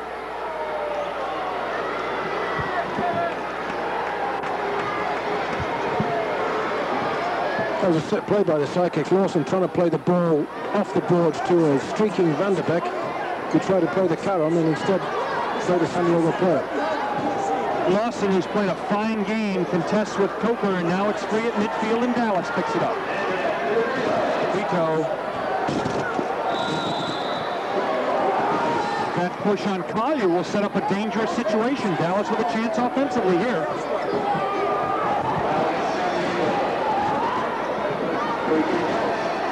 Uremovich will take it.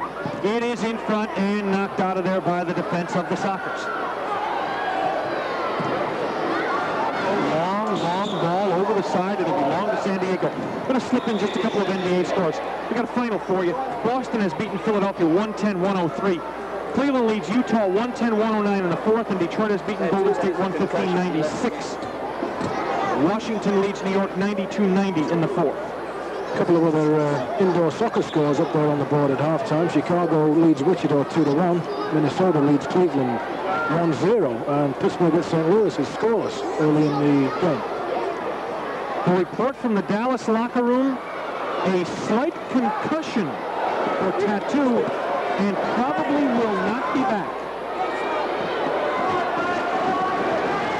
Though the third quarter was scoreless, there was a major disparity in shots on goal. Dallas had nine and San Diego three. Another testament to how well Zoltan Toth is playing in goal. Yes, it's very, very, very good. In fact, the goalies at both end have played so well tonight. Sobieski has played well. You can't fault him on any of the goals. Bit of jousting there. Perez and Smith. And Clavijo. Oh. Did Clavijo almost make a mistake with Gabrito lurking in the penalty area? The sidekicks are really working hard to keep pressure on. This is going to be a collision here. In front, and Quinn simply can't get a solid The foot. ball just came down, but look him race down the court now. He gets back there as well. Smith and Gabrito playing the two-man game on the right side. Smith goes and hides the official for a moment and then pops out again. Sidekicks making their changes here. Slowing the game down while the fresh players come on. Trying to get fresh legs on. Turning on it, turning on it, turning on it. Lanshaw, very skillful, being marked well, though. Ball in the corner, driven in there, blocked with the boards. And McLeod wanted a handball on the defender for San Diego, no callback. Trevio's a good defender. He's quick. He did a great job there staying with Nanchoff. Nanchoff is a good one-on-one player. No back. San Diego just plays this ball poorly and gives Caskey a chance, but his pass gets intercepted. McLeod off the boards, chance here, it's in front, knocked away from Caskey. Well played by Collier. Very well played by Collier. Well, these are two good teams. Here's Zungul. That's a foul. No, he took a dive over the backside of Moreland. Well, I disagree with that one. I stuck his leg out and touches. He made a meal of it, but uh, I think it's still a foul. All, all alone, right wing Crow, one-on-one, off the boards, and then high on the rebound by Zungul. You won't see Crow and Zungul miss opportunities like that often. That's right. Could be a break for the sidekicks Look at there. this. Sobieski has to go up at his goal now to pull that down. The danger there is if you don't handle that perfectly, Perez is waiting like a vulture to feast on your mistake. This is certainly a physical game here tonight. I tell you this, Norm. San Diego knows they've been in the game tonight. Michael, if if the sidekicks play this well for 48 games, They'll be in the playoffs. I, I mean, I firmly believe that. If they give this sort of effort, I would venture to say they're they're a 500 team or better. I think you're right. Well, this is a very competitive league this year. Very tough league. Zoltan Toth almost nailed Jago with the throw out. Yeah, Zoltan gives us his one-hand grade of what he thought of that play. Yeah, I agree with you, Zoli, the goalie. Ball in front, taken away, and here they come the other way. Realize San Diego's playing this game with only 14 active players. So there are not a lot of fresh legs to put back out. Ooh, What a collision there between Schmetzer. What, what a collision. So they come at it again. Lawson and Deyna this time. Nelson's got the beat, beating the Deyna for speed. Doesn't get a chance to use it. Tatu has just returned to the Dallas bench area, but has taken a seat on the bench rather than up along the boards. I don't think we'll see Tatu unless the sidekicks can get to 4-3. Uremovich with the pass from Smith, blocked, and he rolls behind Toth, and his defense cleans Comes out a long way to block these shots. You know, he kind of leaves the goal open. The sidekicks would make one more pass, get the ball in behind him. Could be a chance for an empty netter. Back to Sobieski. Time trickles away from the sidekicks. 10, 30 remaining fourth quarter. Vanderbeck, oh, and he just simply misplays the ball. Sidekicks bring on Radwanski. Trying to go to the fresh flashlight carry. McLeod pours it off the boards for Vanderbeck, but knocked loose, and the Sockers defense cleans up again. Coker tries to run Evans, and that doesn't work. Sockers are a little bit trapped. They're, they're slow in the change, and two men aren't back in their defense. Uremovich to Radwanski, plays it off the board, blocked by one of the defenders that did get back. Well, you're going to have to to get back and catch this guy. Segota left foot all alone. It's off the post. I tell you what, he picked his spot. He measured that shot with everything he had. Just misjudged it fractionally. And after the play, Quinn fouls the Dallas player Evans, and Segota barely missed wide. Oh, oh, dangerous, Dangerous. back throw out. Zungel one-on-one leaves it for Segota. Hits the crossbar. Sobieski got away with that one. That is just not the sort of mistake you can afford to make at this stage of the game.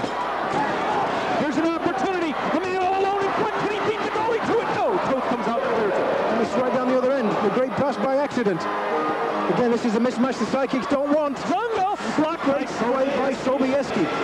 You see, you know, they can't have Evans on Zungel. Evans doesn't have the experience to play Zungel. Segota digging, digging, three sidekicks digging. Down goes Segota, the ball loose to Collier. And we have a foul going to be whistled against Segota, and it's going to send him off. Sure is. And Zungel's very upset with Segota because he's showing unprofessionalism there. Moreland has baited Segota and caused Segota to react and get himself sent off for two minutes. It is in a 4-2 game, unprofessional. Right? Don't allow them to bait you. Put the headphones on him.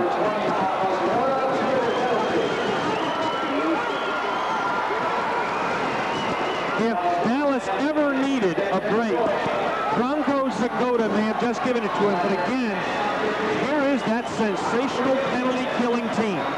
It is Chacha Namdar, number six, number 21, Clavijo, number 12, Kevin Crow, and number two, Brian Schmetzer. All defenses, all defensive players. And this unit has been shorthanded, faced 17 situations this year, allowed only one goal. And the man Dallas usually has on in situations like this, Tatu, sits on the bench with a slight concussion. See, it's Vanantroff, fakes it, it's wide. Lawson on the rebound, kicks high. Oh my goodness, and somebody upstairs put a foot up and deflected that ball. Saved by a young lady in section 120. This is a good job. DeBrito gets out of the way of this. Look, DeBrito get out of the way of that. DeBrito nearly jumps the glass, and he's effort to get away from that. Good job by DeBrito, but time ticks away again. 8.45 remaining, 135 remaining in the penalty.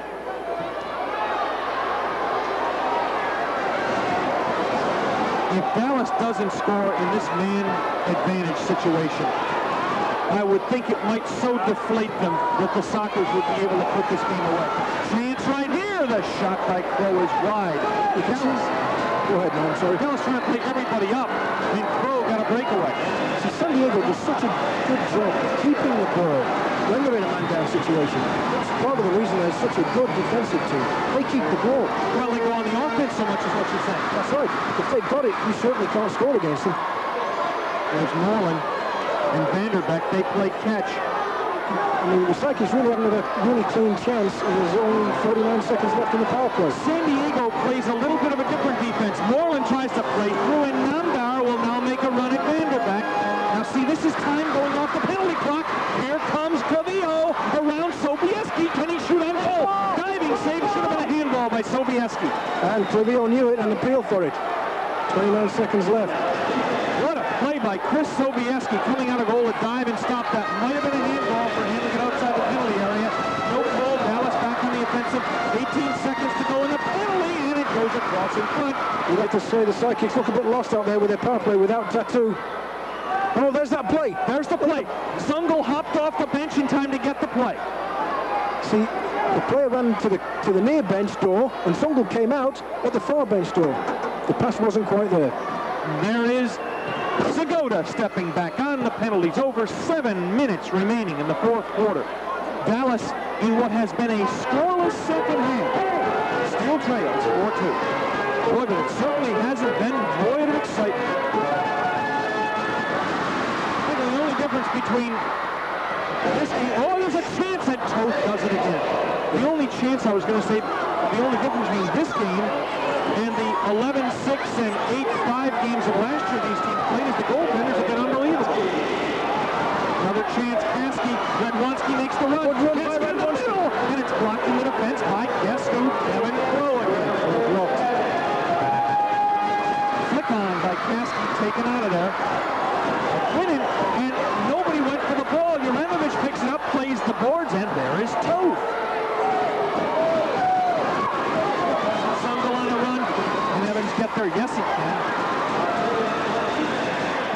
That ball's going to be played off the glass, off the top. It stays in play. Caskey runs. One on one. He goes. Foul should have been called. Yep, you're right. Danshaw goes to the left foot against Perez. Can't turn him around. Now gets him around. And Oh, hits the inside of the post and comes out. Toth didn't know where he was. He had no idea where that ball was. Unbelievable bad luck breakaway. Here's Deyna blocked by Sobieski. Totally unbelievable second half. The call this half scoreless is unbelievable. I'll tell you. Five and a half minutes to go. Dallas got for maybe a half an inch of an angle. If it had been a half an inch more inside, the ball stays in place. We've got another minute here, and then the Cyclones are going to pull their goalkeeper. The score stays this way. Front just lob back out and Sobieski comes up the puck. 13 goalie saves, Dallas with eight. The- The Sidekicks will pull Sobieski for an extra attacker if the score remains 4 to 2 for much more time.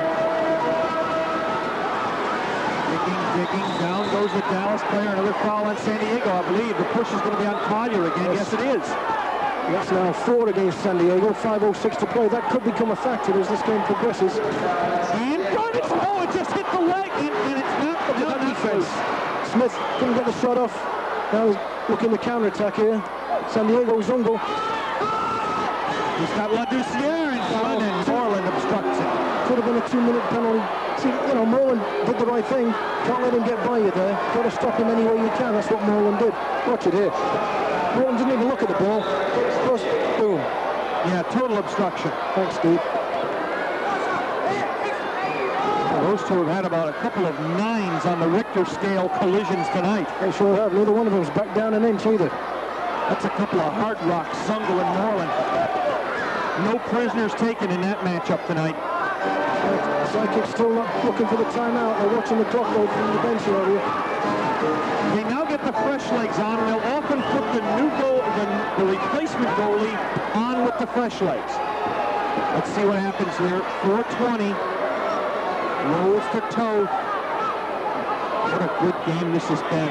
Mike, That's a great pass. That's a great outlet pass by Toth. Coker and Lawson contest in the duck. and 80 still go at it, still go at it, foul. That's foul number five now with 4.06 to play. Now, I would think the Sidekicks now will, will not pull the goalie and they will try and play for this sixth foul. But they look a bit disorganized here. Now they get the ball back. Now they don't. Now there's, this is precious time. Now Vanderbeck steals, and down he goes. Trying to draw the foul. When it's five, take a dive. Referee wasn't buying it. And he did dive. This will be offside. Three-line violation. Now there's the offside. It's the first one we've seen tonight. But a pass that goes completely over the two red lines. On the fly. On the fly, comes back to the red line First nearest the line. defense. That's right. And we've got a timeout here. Timeout. Now they're going to pull the goalie. Take a chance here. The situation here is that the sidekicks will probably now pull goalkeeper Chris Sobieski in favour of a regular field player who must, of course, don a goalie's uniform because the rules state that one of the players must be a goalkeeper, but he actually will play out in the field like a field player. HSE brings you sports talk whenever we have a Houston Rocket game. Bill Worrell is your host from the Summit. When HSE brings you Maverick game, I'll be your host here from the Union. Tomorrow night, 7 o'clock the start time, Jim Sundberg is our guest. Then Friday, November 29th, Drew Pearson. The 5th of December, Bobby Valentine. Don Carter and Gil Brandt have each committed for dates in December. Sundberg, Pearson, Valentine, Brandt Carter, the people you want to talk to are on Sports Talk before Mavericks or Rockets games. 3.49 to go. Dallas, I believe, has gone ahead and made the decision to take the goalie right now and go with the sixth attack. I would think so. I can't see over there who's got the goalie's shirt on. Yes, Moreland is putting the goalkeeper's uniform on, and that's going to be it for Sobieski. Played a great game for the Sidekicks. Could not certainly be faulted with the goals. Played a sensational game. Without Sobieski, it's 8 or 9 or 10 to 2. Without Toth, it may be 10 to 10. Some updates in the MISL. Chicago 5, Wichita 4 in the fourth period. Minnesota 3, Cleveland 2 in the fourth. St. Louis 2, Pittsburgh 1, also in the fourth period. That, if it stands up, would be Chicago's first win. That, if it stands up, would keep Minnesota in first place. And St. Louis in the West with a chance to move up. And Pittsburgh is a team Dallas is trying to leapfrog. In the That's East. right, they're a good team as well. This is a very competitive league this year. There are no dog teams in this league this year. The person with the yellow shirt is not a crossing guard. That's Victor Moreland. He's the replacement goalie for Dallas. They will go with a sixth attacker. Problem here is if somebody breaks loose, it's in the twine. That's right. Here's the chance. Let's see what happens. Trying to play it off the board to himself. Can't do it. And here's where that sixth attacker comes in. Moreland now starts up with the ball himself. Yeah, you take a chance here. It gives you a chance to get back in it, move the ball around, work for a good chance. But obviously, if the net is vacant at the other end, they can put you away with one good chance at the other end. There it is. In front. It is stopped by the defender in front. Needed a first-time shot by Kasky, and he tried to two-time it. Clavijo. Here is Zungul all alone on Moreland. Lines up. It is off post. glass. Let's see. It's Segota goes to Zungul. They've got Moreland in goal. Now they can afford to pull it back. The run with Crow. Crow and DeBrito. Oh, Chipping my. against DeBrito. Is the call.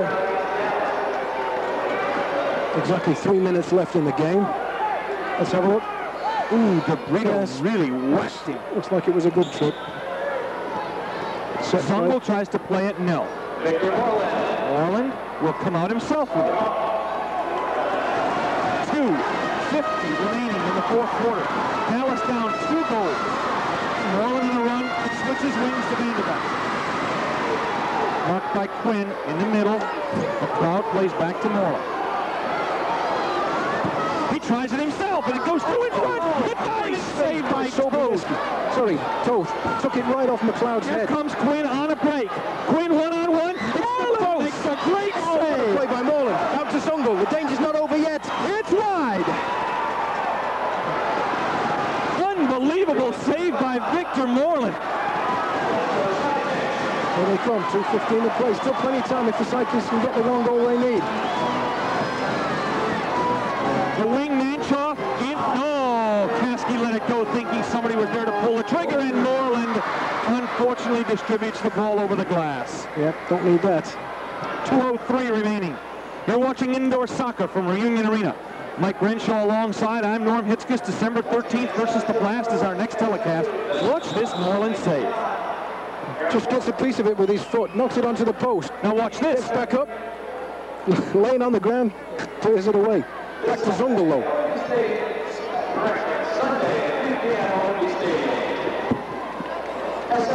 Oh, I tell you what. You can't fault the effort tonight. No, not at all. Either team. The thing that I think the Psychics have to be pleased about is that at this stage of every game against San Diego last year, they were out of it. They, they weren't out of it, Mike. they're not out. They had a foot on the plane. They were buried yes, they early were. and often. Do you remember one game out there where San Diego hit them with a five spot in the first period? That's right. Threatened to do it tonight, but the Psychics got their act together and have uh, really played San Diego off their feet since that point. Consider that last year, Segota and Zungul got 15 goals in four games. Right at four goals per game from that twosome. Tonight they have gotten one. That's right. Which just says what we saw at the top of the telecast, the fact that uh, the Psychics have improved tremendously defensively. Well, Lawson and Moreland add a lot of stability. Uremovich is a defender's defender, and young Mark Evans, the American, is really starting to play good indoor soccer. And Chris Sobieski has been brilliant. But, it, Certainly has, yeah. but all it means is 4-2 San Diego. That quick three spot. Looking down here at this end, all the cameramen are behind the sidekicks goal. Guess they think the San Diego is going to score. Playing it to midfield. And here comes everybody pressing up for Dallas. The run to Lawson. He pulls the trigger. And look at the play by Toad Here's the breakout. deflection. Here's the breakout. Yes, it is. Dakota one-on-one. This is trouble. This is trouble. In front, Ladouceur. Look at the play by Norland in the goal. What a gutty effort. Dallas, it appears, will lose this game. But take nothing away from a gritty effort. Great effort.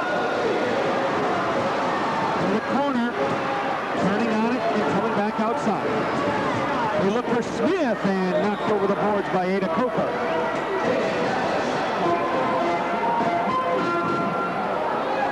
Yeah, the, the, the sidekicks need to be hitting shots here as often as they can. Obviously, you, you can't shoot unless uh, you can't score unless you shoot.